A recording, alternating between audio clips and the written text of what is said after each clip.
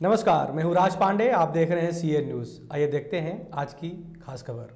पश्चिम बंगाल में अंडाल थाना क्षेत्र के बनियाजीह में एक आदिवासी युवक की अस्वाभाविक मौत के कारण इलाके के माझी पाड़ा में सनसनी फैल गई। स्थानीय लोगों में के मुताबिक मृत युवक का नाम सोम माझी बताया जा रहा है। प्राप्त जानकारी के मुताबिक सोमवार रात को स्थानीय लोगों की नज़र 22 वर्षीय सोम माझी के लाश पर पड़ी।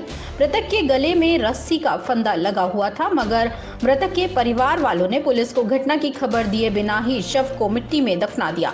पड़ोसियों ने जब पुलिस को इस मामले की खबर दी तो अंडाल पुलिस ने अंचल के बीडीओ की निगरानी में मृतक के शव को कब्र से बाहर निकालकर पोस्टमार्टम के लिए जिला अस्पताल भेज दिया। पुलिस ने पूछताछ के लिए मृतक के बड़े भाई देबू माझी को हिरासत में लिया है। फ़िलहाल पुलिस द्वारा मामले की छानबीन चल रही है।